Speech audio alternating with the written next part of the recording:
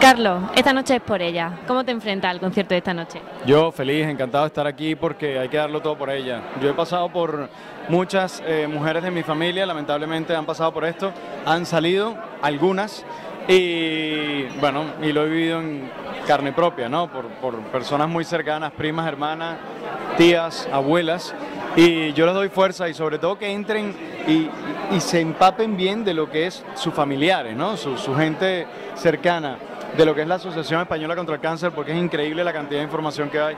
La, eh, la, la, la ciencia sigue evolucionando, sigue habiendo cosas maravillosas y yo creo que enterarse a tiempo es lo más importante y luego las, la, la, comida, la alimentación es importantísimo también. Bueno, esta noche una noche de lanzar un mensaje y a ti te encanta lanzar mensajes porque eh, tenemos que hablar del éxito de Vamos a la calle. Sí. Háblame de esta canción, háblame de todas las cosas bonitas que está generando, del éxito que está teniendo. Yo estoy feliz con Vamos a la calle porque sí, transmite, es una canción social. Parece que es que vamos a la calle de fiesta, pero no, vamos a la calle a reclamar lo nuestro, los venezolanos y toda la gente que quiera salir a la calle reclamando lo suyo, lo que quiere.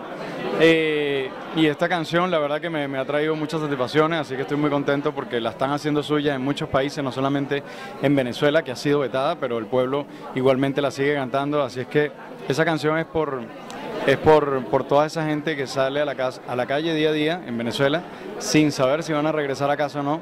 Así que para mí son héroes, son los nuevos libertadores de Venezuela. Muchísimas gracias, Carlos, y gracias por esta la voz tan bonita que hace. Yo encantado, un besito. Nos vemos.